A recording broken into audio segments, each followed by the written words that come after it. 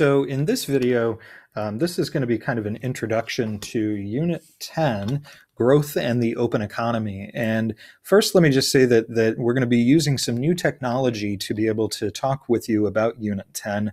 Um, it's called Screencastify, and that's that's new to some of you, new to, to me for sure, um, but probably not new to everybody. And, and I think you'll probably notice some a lot of teachers doing it. Um, what I don't have is an external webcam, so I can't show you my pretty face while I'm while I'm annotating through these notes um, and talking through how this unit will work. Um, but in general, I have kind of a couple of thoughts. Um, thought number one is take notes on your own paper. And, and so I'll put that on own paper. And I'm sorry, I'm going to work on my handwriting a little bit, but of course we're all we're all learning new things right now. Um, and and generally, what I would say is is when you have access to um, these kinds of documents, right? You have you have all of the, the problem sets and this sort of thing is i would say get a sheet of notebook paper and kind of just create a, a, new sheet for every single lecture and problem set. There's really not a whole lot more left in this in this course um, so we're good there um, but i would recommend taking notes.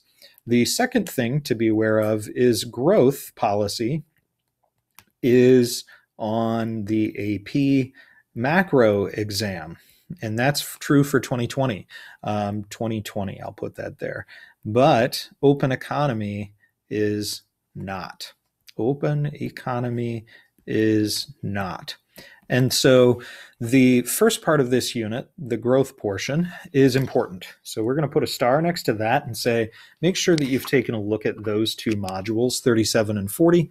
Um, but the open economy, eh, for the AP exam. Now, that being said, there's a lot of stuff in the open economy, and by the way, that's what this is, is all the open economy stuff um, that many of you are interested in. You've asked me good questions about over the course of the school year. And so what I'll say is, is I'm going to go ahead and do um, notes on these topics, trade and foreign exchange and things like that. Um, open economy just in general means international trade. It's, it's the idea of, of a macro economy being open to the world.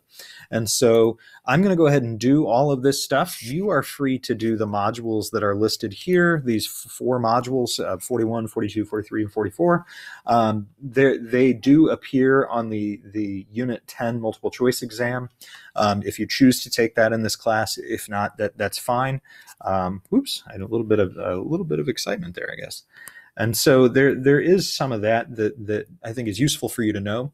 But in general, for the AP exam, you can see here, this is stuff we've a lot of it I've already talked about. So um, in this unit, it's a lot of, of international trade and just a quick review of economic growth. So I hope to see you during office hours, um, and I hope to see you very soon, um, and I'll see you next time. Bye-bye.